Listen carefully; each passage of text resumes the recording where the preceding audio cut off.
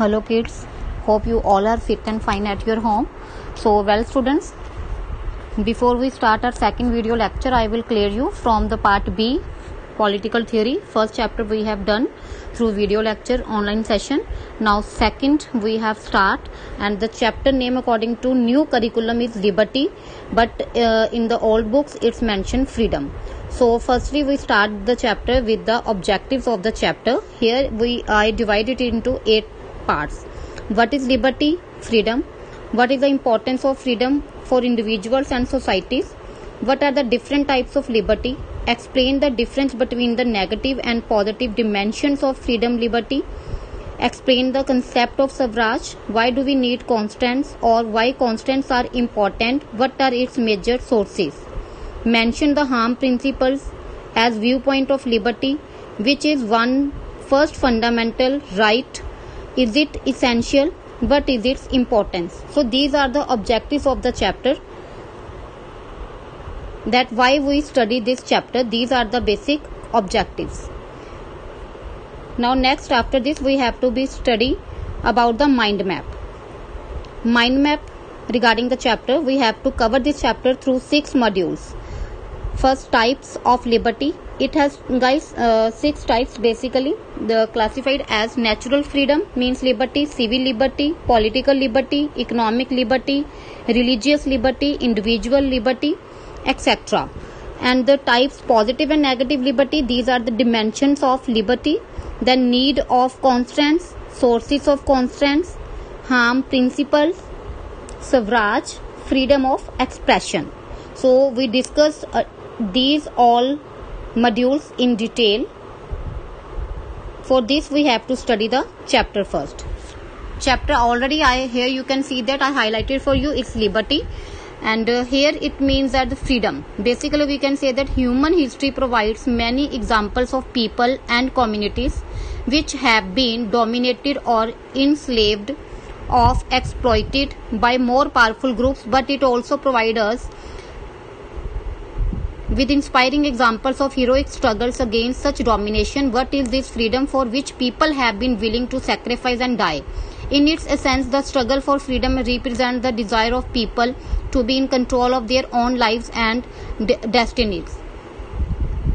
And to have the opportunity to express themselves free, freely through their choices and activities not just individuals but societies also value their independence and wish to protect their culture and future However, given the diverse interests and ambitions of people, any form of social living requires some rules and regulations.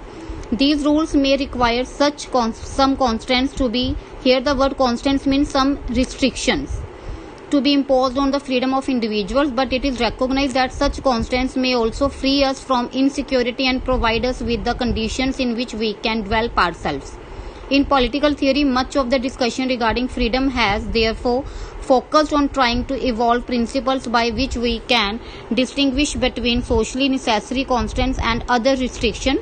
There has also been debate about possible limitations on freedom which may result from the social and economic structures of a society. In this chapter, we will look at some of the debates. After studying the chapter, you should be able to understand the importance of freedom for individuals as well as societies explain the difference between the negative and positive dimensions of freedom. Explain what is meant by the term harm principles. So these are the important things which we discussed in this chapter. When we read this chapter you get side by side the answers also. And here one question appears. What is freedom? So here basically everybody has different meanings of freedom liberty.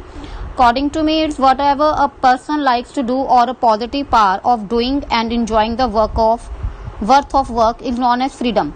Freedom has two aspects, whether positive and negative. I already cleared you through the mind map also. We uh, all discuss this later on. So next, we further with the ideal of freedom. Here one question appears. Who was Nelson Mandela? What he contributed for liberty? So after reading this page, you get to know about this answer.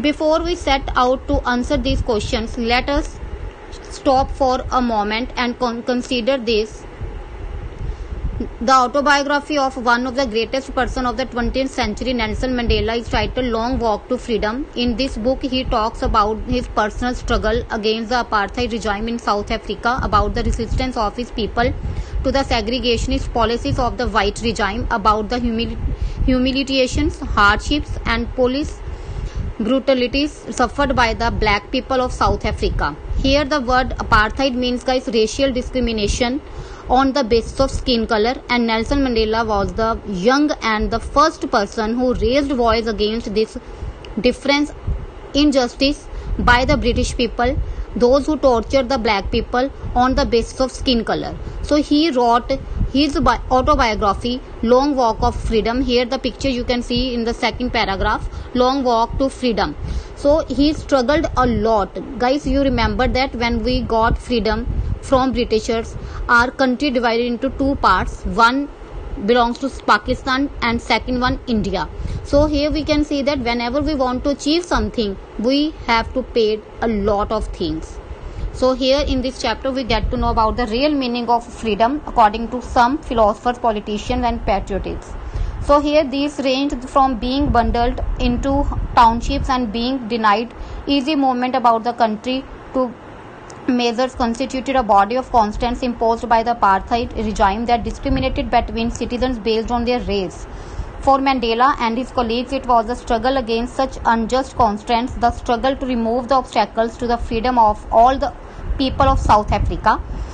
Uh, and not just the black or the colored but also the white people that was the long walk to freedom nelson mandela wanted uh, wanted that time period that why britishers discriminated on the basis of color tortured and uh, why not high designated jobs not offered to the black people. So he was fully influenced so, uh, from the mahatma gandhi also and the other uh, people also. He struggled a lot for it and uh, he worked on it and raised voice and he paid a lot. How he contributed in it we can studied for the freedom Mandela spent 28 years in South Africa of his life in jail. You know guys 28 years means what it's a matter.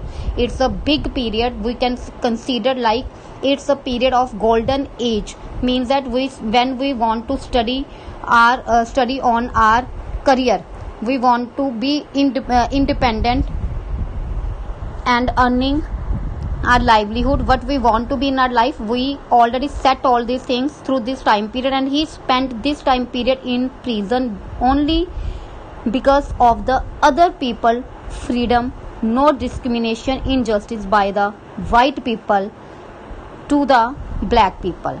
So he contributed and suffered and struggled a lot. Confinement imagine what is meant to give up one's youth for an ideal to voluntarily voluntarily means when one with on wish want to do some task. Nobody force them or it's not a mandatory. It's by our own choice. So you can see that guys many philosophers many politicians big people you can say that public figures they have their own choice. They are also like us common people but they want to be created by god for some different special task for the betterment of the other people. So he uh, already wanted to free black people from this injustice and work according to it. He gave up uh, to voluntarily give up the pleasure of uh, talking with one's friends, of playing one's favorite game. Mandela loved boxing, of wearing one's favorite clothes, of listening to one's favorite music, of enjoying the many festivals that are part of one's life. Imagine giving all these up and choosing instead to be locked up alone in a room, not knowing when one would be released only because one campaigned for the freedom of one's people. Very, very important lines. Free uh, for freedom, Mandela paid a very high personal cost, my dear kids. He spent his 28 years there and if he want he want to choose not to choose all these things. He wanted to be uh, as free as other people are living there and already allow this injustice. But he wanted to raise a voice because he thought that this uh, this was wrong and that's why he wrote all these things in his autobiography to aware people that to make voice is not bad but it paid a lot of your personal things so next now take another example by Gandhiji. You know that Gandhiji thought that he always worked for his non-violence methods to achieve freedom from Britishers. Also, he kept fasting, practiced fasting, and uh, through satyagraha, non-violence method, civil disobedience. So many things are there which influence us, and we uh, some uh, we also work on his teachings also. And here one another example of.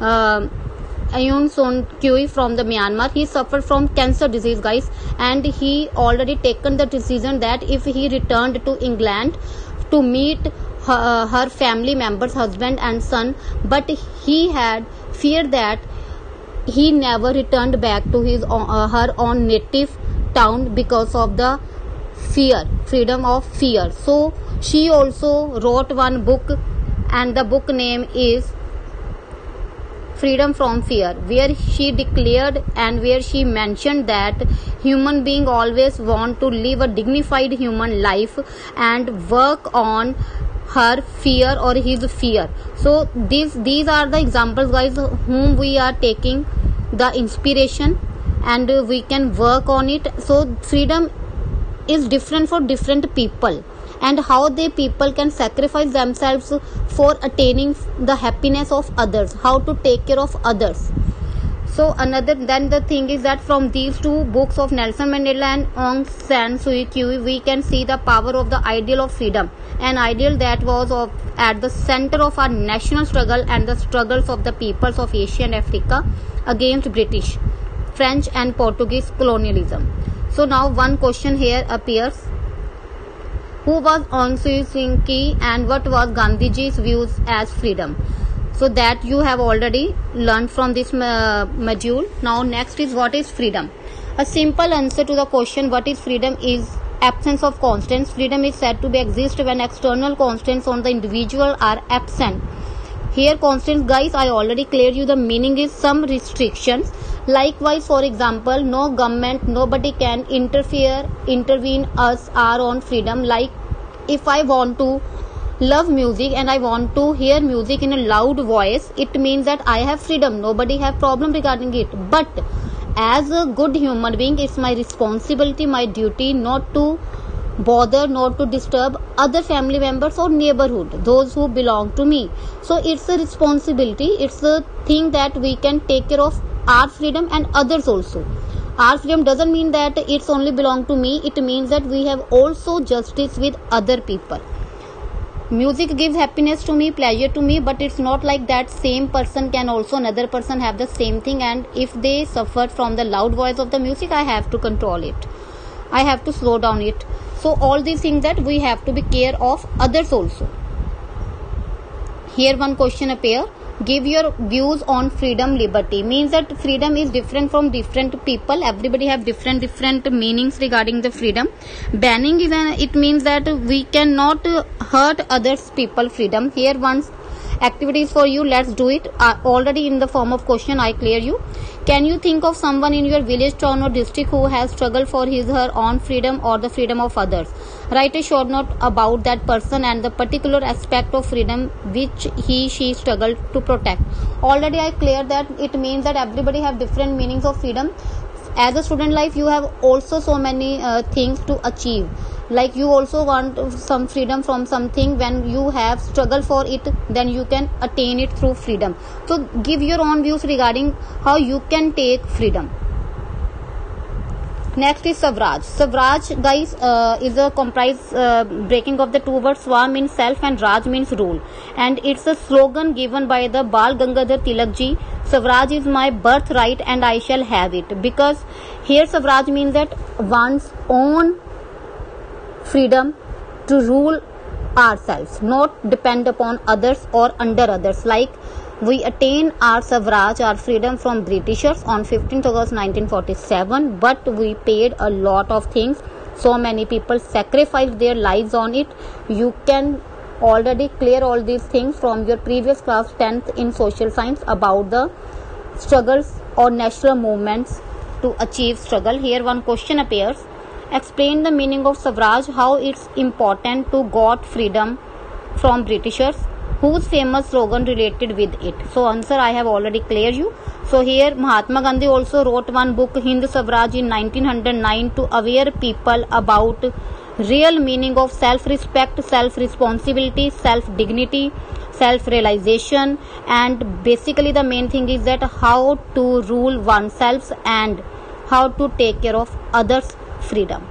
So of people to freely express themselves and develop their potential freedom means that not to harm others not to hurt others feelings a free society would be one which enables all its members to develop their potential with the minimum of social constraints.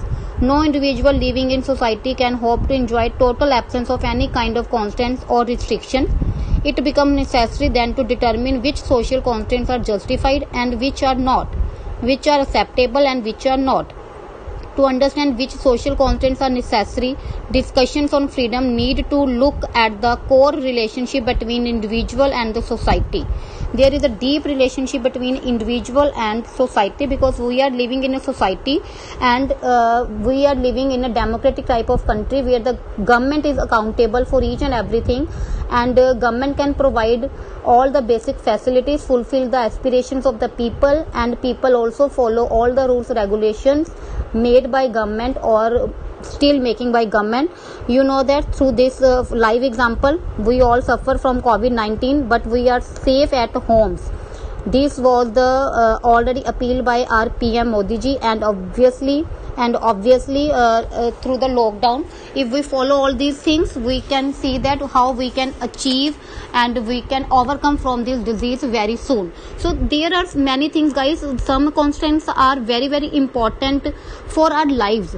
If we are safe at home if we are at least live we are free from these type of uh, diseases so we can live according to us through following some rules and regulations by the government. So living in a society means that we are living we can take care of our in our neighborhood we can take care of our family members we can take care of others people those who belong to us.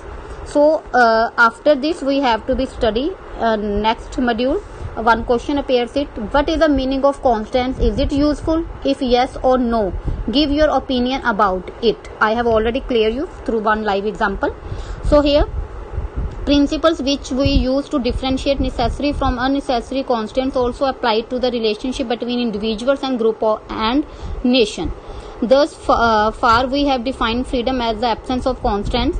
To be free means to reduce or minimize social constraints that limit our ability to make choices freely. However, the, uh, this is the only one aspect of freedom. To put it in another way, freedom also has a positive dimension. Underline here, positive dimension means that guys, when uh, to uh, one such a society in which adequate facilities are available for each and every section of society to enjoy desirable rights. This believes that any individual or section should not hinder the progress of others. We have to work collectively and take care of others' freedom and growth also. People can enjoy all freedoms which are permissible by laws. It ensures the growth of poor, weak, and downtrodden people also. It interprets the liberty lies in the removal of obstacles. A free society is one that enables one to pursue one's interest with the minimum constraints. I have already cleared it. And uh, here, one's debate on that issue, healthy debate, when we are discussed with ideas with so many brains. Example, girls and boys should be free to decide whom they wish to marry. Parents should have no say in this matter. So you can see, you can take this debate. You can give so many uh, uh, ideas you have regarding this activity. So you can have your own thoughts, write in your own wordings regard, uh, according to it. So well, guys this is our first video lecture from the chapter uh, from the book political theory chapter number 2 liberty next video we will uh, do with the constants and need of constants